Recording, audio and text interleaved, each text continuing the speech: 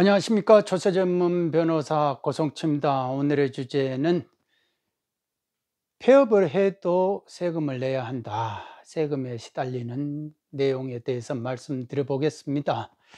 자영업자 폐업이 많이 이루어지고 있습니다. 우리나라 경제가 그만큼 안 좋다는 증거인데 그에 반해서 자산 가격만 올라간다. 뭔가가 매치가 안 되는 거죠. 모순이 되는 거죠.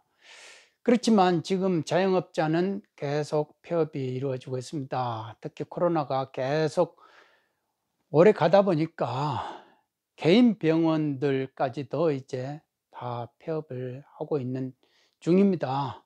그러면 이럴 때 어떤 세금이 문제가 될 것인가? 폐업을 해도 세금을 내야 된다. 그러면서 과세가 나옵니다. 세금을 내라고 고지서 나옵니다.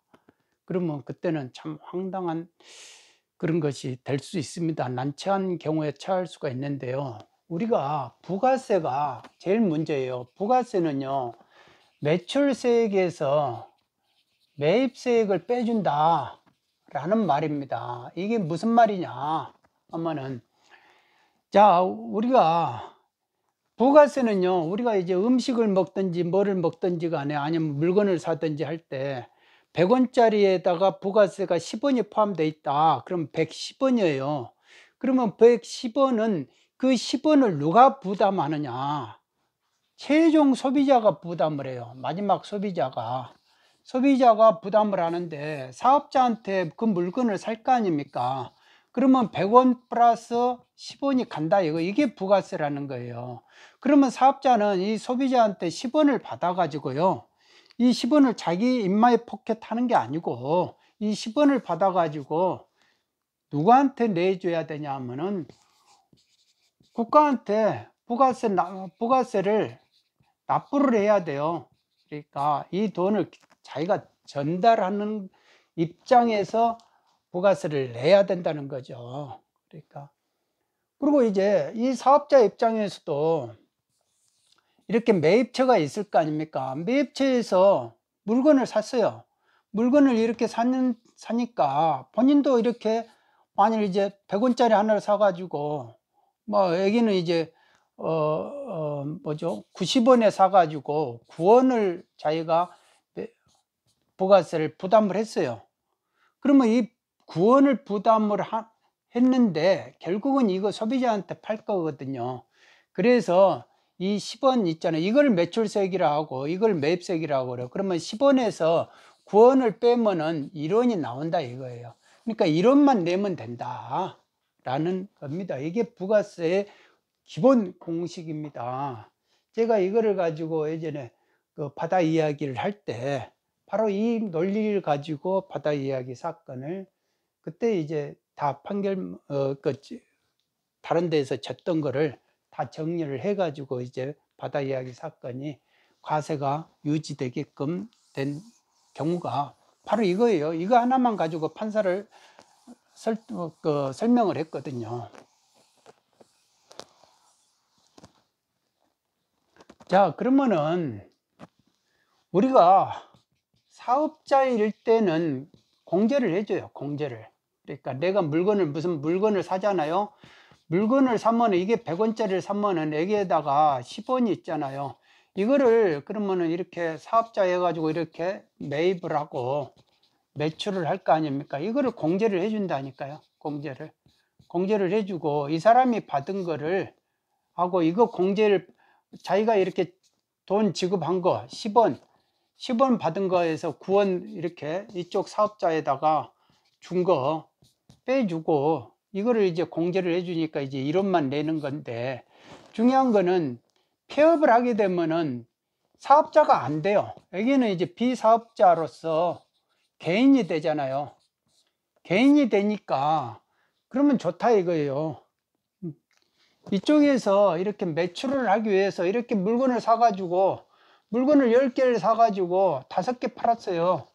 그러면 다섯 개가 이제 남은 거 아니에요. 지금 이게 이제 재고자 이거죠. 잔존재화라고 그래요. 잔존재화.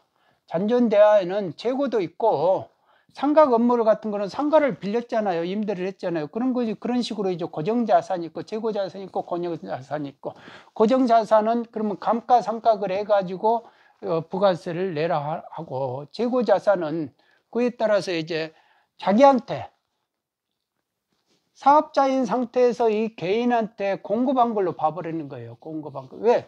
10개에 대해서 이미 공, 매입세 공제를 해줬잖아요. 그런데 다섯 개는 국가가 매출세액 마이너스 마이너스 매입세액인데 매입세액은 이미 2020년에 매입세액을 10개를 대해서 10개에 대해서 어 10개에 대해서 이 매입세액 공제를 이미 해줬어요. 그러면 매출세액은 2019년에 다섯 개를 팔았으니까 그러면 다섯 개는 매출세액이 다섯 개 분밖에 안 들어온 거예요. 가연 5원밖에 안 들었고 이거는 10원을 더 공제를 해줬다 이거예요. 그러니까 국가가 손해 보잖아요. 손해를 보는데 이제 2021년에 그러면 다섯 개 팔면은 이제 다 이렇게 다시 들어오면 똔똔이 되니까 그렇게 기다리고 있었는데 폐업을 해버린 거예요. 그러면 이 다섯 개를 플러스 다섯 개가 해가지고 팔아가지고 5원이 더 들어와야 되는데 안 들어온다 이거예요. 안 들어오니까 야 내가 그 토해 10원 해준 것 중에서 5원만 5원 빼고 5원은 토해내 이런 식이에요. 그러니까 토해내라 이거예요. 폐업한과 동시에 사업자로서 내가 공제를 맵세 공제를 해줬는데 사업자 아니니까 이제 토해내라 토해내라고 하는 걸 이제 복잡하게 말을 해서 잔존제하로서 뭐 자가 공급이다 라고 하는 겁니다.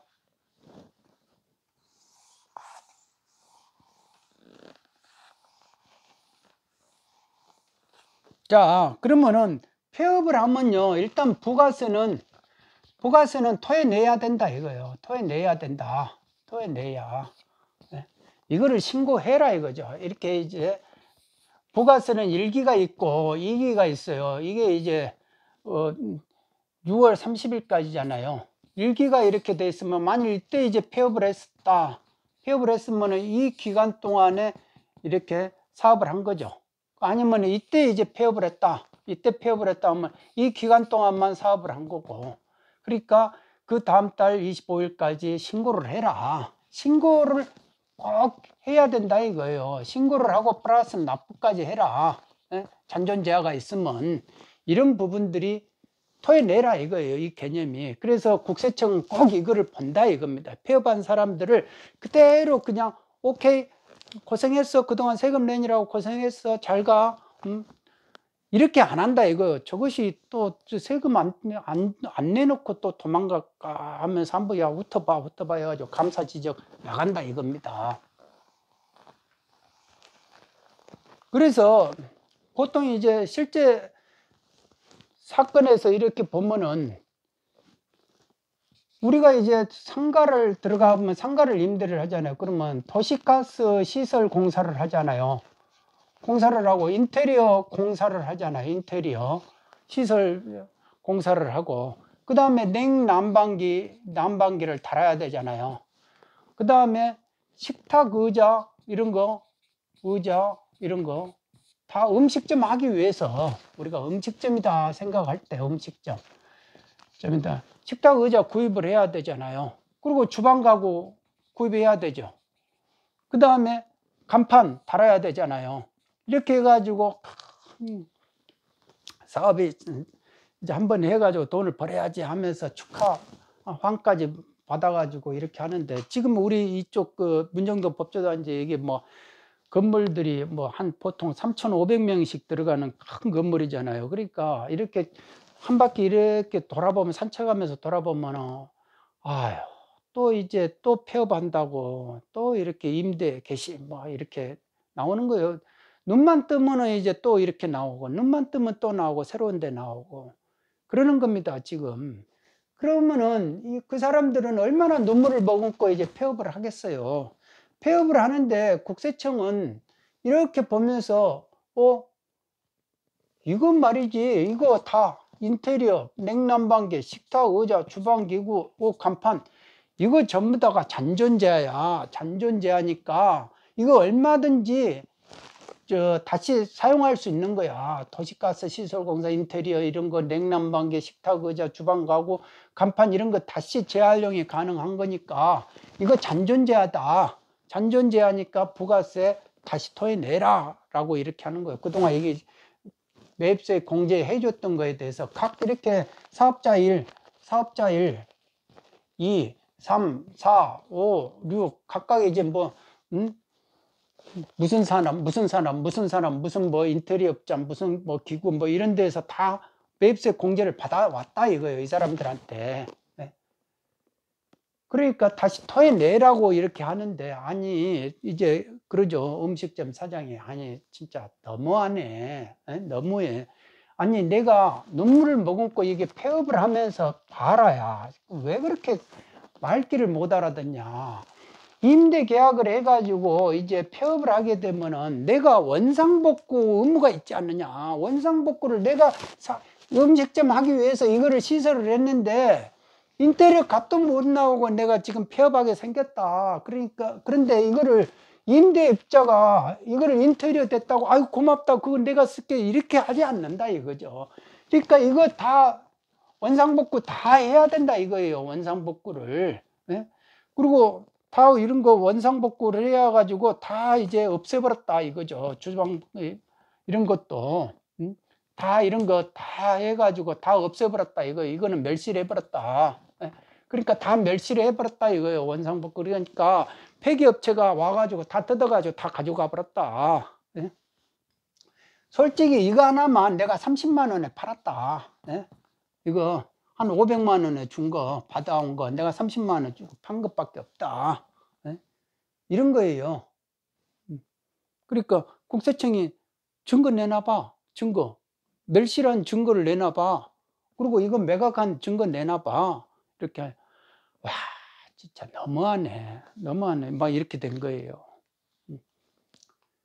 그래서 이거 이제 제가 실제로 했던 사건이거든요. 그래서 제가 법무과장 시절에 이거 전부 다 인용, 인용, 인용, 인용, 인용, 인용, 인용, 다 인용, 인용으로 해버린 거예요.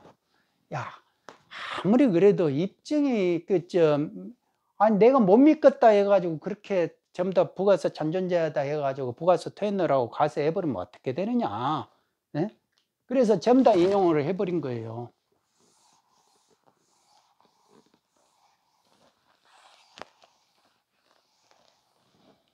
그리고 나서 그 뒤로부터는요, 인테리어.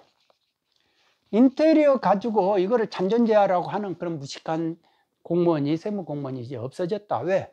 아예 그냥 우리가 못으로 박아 놔버렸기 때문에 지리신이라든지 이런 거 사진 답변 보면 인테리어는 어차피 멸실되는 거예요. 원상복구 의무기 때문에. 그래서 이거는 잔존 제하가 될 수가 없다 이겁니다. 그냥 어차피 멸실될 것이다 이거예요. 잔존할 수도 없는 것이다.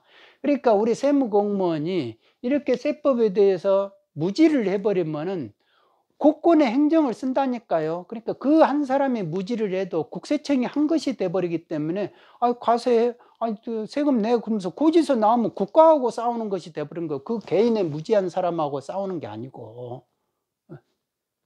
그래서 그게 한 단계 한 단계씩 계속 넘어가야 된다 이거예요. 그런데 그 단계마다 액수가 뭐 이런 거는 이제 그때 350만 원씩 뭐 이런 거 500만 원 이렇게 과세가 돼요. 그러면 이거를 누가 이렇게 내일처럼 이렇게 보겠느냐 이거예요. 액수가 적은 것들은 돈도 안 나오고 옆에서 누가 뭐 도와줄 사람도 별로 없을 거고. 그러니까 자영업자는 그래서 무전 어, 유죄 유전무죄라는 말이 내 스스로 이 세금에 대해서 잔존제, 자가공급 이런 말도 모를라 죽겠는데 그것까지 부가세 때려놓고 나를 체납자 딱 만들어 놓는 거예요. 체납자를 만들어 놓으면 어떻게 되느냐 이거요. 체납자 만들어 놓으면 여기다가 이제 또 부가세 번세에다가 번세에다가 플러스 가산세까지 해가지고 고지를 해. 그래가지고 체납자 만들어. 그러면 이건 내가 못 내. 그러면 어떻게 됩니까? 아, 재산 하나 있으면 아파트, 아파트 있다. 그러면 무조건 압류. 뭐, 채권이 있으면 금융기관 예금 무조건 압류. 음? 그리고 요즘은 송영길 의원이 뭐 이렇게 더 만들어낸 거 있잖아요. 친인척, 친인척 계좌 조회. 이렇게 해가지고. 네? 이거는 뭐 고액 오, 고액 체납자니까 5천만 원 이상의 체납자에 대해서는 친척 계 그러니까 친인척까지 다 떠들어 보는 거예요 이제는 체납자 만들어 놓고 이렇게 5천만 원짜리만 만들어 놓으면은 다 친인척 계좌 다 떠들어 볼 수 있다니까요 국세청에 그러니까 그래서 1984년이 이게 중요한 거예요 조지 오웰에 예? 빅 브라더가 이제 드디어 등장한 겁니다. 그러니까 오늘도 뭐 이렇게 뉴스 보니까 장하성 그 그분이 뭐 자랑을 했던데 우리가 투자와 예? 투자와 투기를 구별할 수 있는 그 시스템을 다 개발해 가지고 운영해 보니까 좋더라라는 거예요. 그러니까 어? 다 그 사람들마다 집을 맺혀 가지고 있는지 예? 그거를 또 이제 임대를 줬는지 안 줬는지 그리고 월세가 얼마나 들어오는지 그거 다 지금 다 돌려보니까 다 나오더라. 누가는, 누구는 투기로 했는지, 누구는 투자로 했는지, 그거 다 나오더라, 이거죠. 음. 근데 중요한 거는, 내로남불이 안, 되, 안 되기를 바랄 뿐이에요. 우리는 말고, 이렇게 하지 말고. 예, 힘 있는 사람들은 우리는 빼고, 힘 없는 사람들만, 당신들만, 어? 이런 식이 되면 안 된다. 라는 거죠. 그래서 이런 부분들이 다 이제 개념, 법리가 정리, 정리가 돼버렸다 이겁니다. 또 기억나는 사건들이 보면은 음식 음식 어, 저 음식점을 어, 하다가 도저히 안 되겠으니까 이, 이쪽 단계에서 이제 부동산 임대업으로 바꿔요.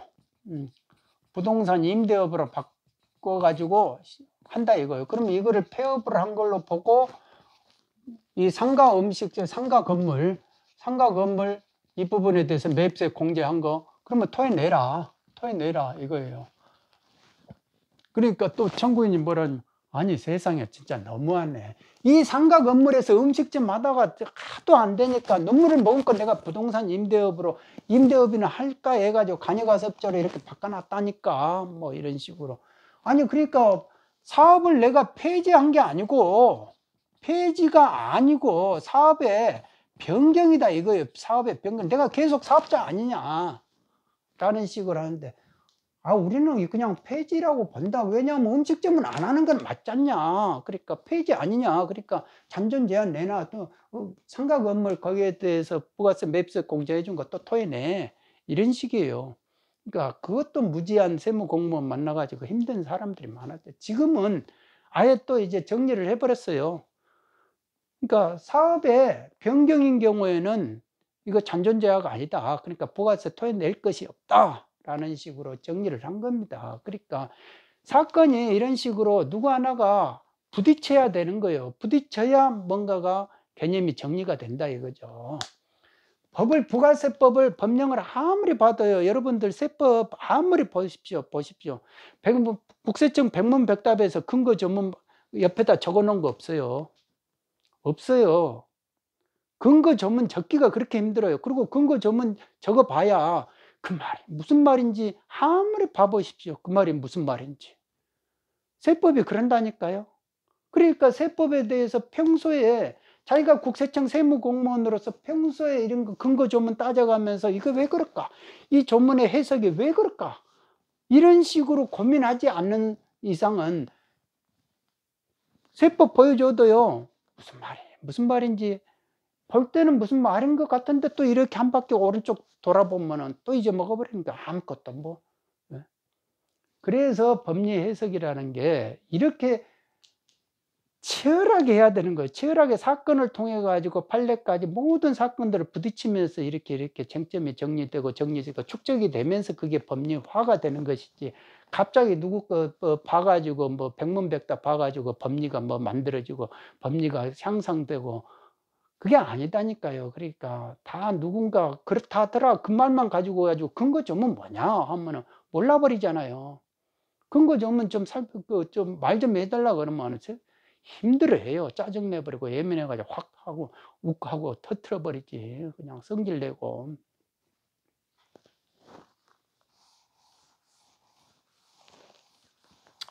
저는 이렇게 부가세만 가지고 뭐 종소세도 이제 그 다음에 이제 또 신고해야 되고 다 해야 돼요. 그런데 제가 왜 이게 자영업자 폐업이 이렇게 많아지는 게 왜 이게 진짜 중요하냐. 여러분들 이제 중요합니다. 우리가 10년 뒤만 보면요. 2030년만 보면 우리가 절대적으로 닥치는 게 출산율 저하예요. 출산율이 저하가 돼 가지고, 저 가지고 인구가 감소한다 이거예요. 그러면 경제활동 인구가 적어지는 거예요. 저, 경제활동이 적어지는데 대신 뭐냐? 확실한 거는 노령화가 되는 거예요. 초고 노령화가 돼 가지고 이게 35% 이상이 된다는 거 아닙니까? 노령 인구가. 그러면은 20대, 지금 30대 사람들은 죽으라고, 죽으라고 이래가지고 이분들 먹여 살려야 돼요. 응? 죽으라고 이래가지고. 그야말로 세금 내면서 본인, 응? 자영업자가 이렇게 폐업하, 또 사업하다가 폐업하면 세금까지 다 두드려 맞으면서 이렇게 해가지고 노령 인구 부양을 해야 된다 이거예요. 세금을 내가지고. 그리고 또 공무원 인구가요. 이게 무지막지 않은 거예요. 지금 현재 일본에 어제 신문에 뭐 그렇게 나왔대 일본 신문에 한국은 가만히 놔둬도 침몰할 것이다. 공무원 인구가 일본의 여섯 배예요. 일본의 인구하고 일본은 억 단위잖아요. 음? 인구가 우리는 천 단위잖아요. 근데 공무원이 여섯 배고 앞으로도 계속 이 정권에서 계속 올라간다. 근데 공무원은 있지 않습니까? 공무원은 복지 부동이 공무원의 생명이다 라고 보면 되죠.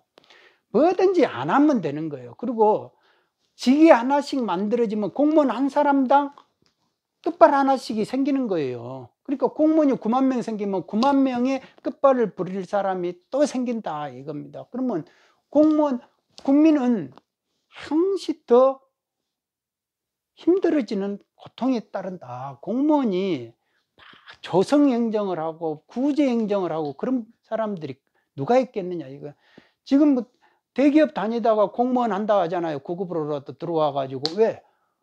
정년까지 보장되고 어, 연금도 나오고 뭐 그러니까. 그런 거에 안주해야 될 사람이 자기가 뭐를 막 깃발을 들으면서 갑이 돼가지고 뭔가가 아, 어, 사주에 갑이 나오면은 막 앞장 앞장선대요. 그러니까 조랑 앞서가는 말이 조랑말이라는 비아냥을 듣더라도 아 이거는 이렇게 해야 됩니다. 이렇게 해야 됩니다. 아닌 건 아닙니다. 긴 거는 깁니다. 이렇게 해야 되는데 그렇게 안 한다 이거죠. 다 눈치 보면서 남이 하면은 숟가락 공, 공치사 할 것이 있으면 내가 숟가락 얹어 버리고 그 타이밍만 잡는 거 아닙니까? 음. 그리고 뭐 무슨 일이 있으면은 무조건 먼지 하나까지 다 털어버리는 거죠. 먼지 하나까지 다 털어가지고 막 과세해버리고 규제해버리고 수사해라 하고 구속시켜버려라 막 이렇게 하고 그런 거는 본능 초등학생들도 공무원 시키면은 그렇게 해요. 중요한 거는 교육을 시키는 이유가 뭐냐 이거예요. 그러니까 규제에서 획안나 빼는 것이다 이거예요. 규제에서 규제에서 획안나 빼면 이거는 본능이다 이거 규제는. 그런데 획안나 빼버리면 구제가 되잖아요. 이거 하기 위해서 교육을 시키는 거고 양질의 어, 공무원이 필요한 거 아닙니까? 그러니까 이런 사람들만 공무원이 된다면 나라가 좋은 나라 되겠지만은 거의 복지부동화 되면서 또 이권이 있으면은 어떻게 됩니까?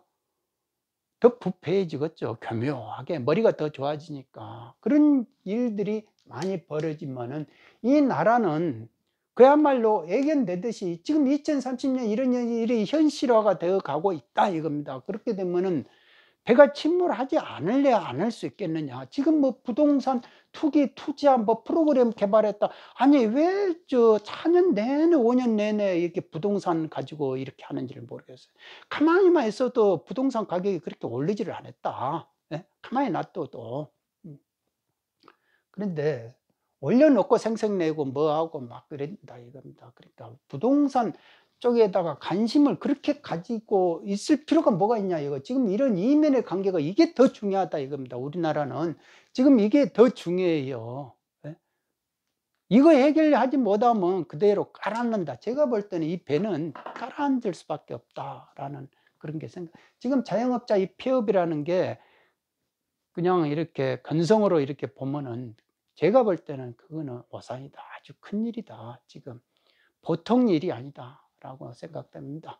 이게 뭐 무상으로 퍼주어 가지고 그러면 뭐 어, 자영업자가 어? 몇푼 받아가지고 그 일어나고 뭐 그러겠습니까? 일을 해야죠. 일을 하고 물건을 팔고 그래야 이게 신이 나가지고 어, 경제도 돌아가고 그러는 거 아니에요. 네. 답답한 현실이 계속 이루어지고 있습니다. 이럴 때일수록 전기를 충족을 해야 됩니다. 그러니까 건강 조심하시고 욱 하는 거 조심하시고 성질 한 번을 덜 내시고 이래야 될 것 같습니다. 오늘은 여기까지 하겠습니다. 여러분 모두 건강하시기 바랍니다. 감사합니다.